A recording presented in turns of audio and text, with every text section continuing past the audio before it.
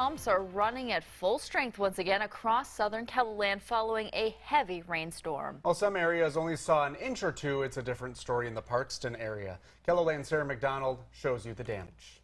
Brady, Sammy, overnight and throughout the morning, parts of Armour saw nearly 8 inches of rain, while parts of Parkston received about 6 inches of rain. I talked with people in both communities earlier today. People in Armour are dealing with flooded yards, basements, and roads after about 8 inches was dumped on the small town. Last night, probably like around that 6 o'clock time frame, we had a really good downpour to start it all out, all out with. Thunder, lightning, you know, then just rained all night long. Armour resident Riley Hurlichek is spending part of his day helping get people and their belongings out of an apartment complex.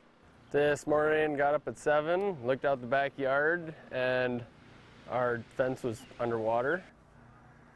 Uh, then went out to work for a little bit and came back into town and started unloading the apartments and hauled a bunch of boxes out. Hurlichek isn't the only one. Several other people in town joined in to help.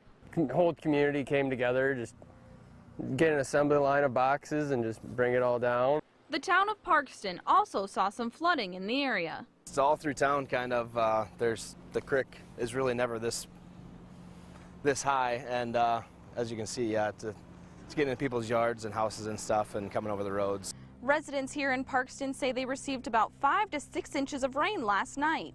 Surprisingly, middle of July we have this much rain, so uh, usually it's pretty dry, and but yeah, it's we've been fortunate, but a nice calm rain would be nice more than flash flooding.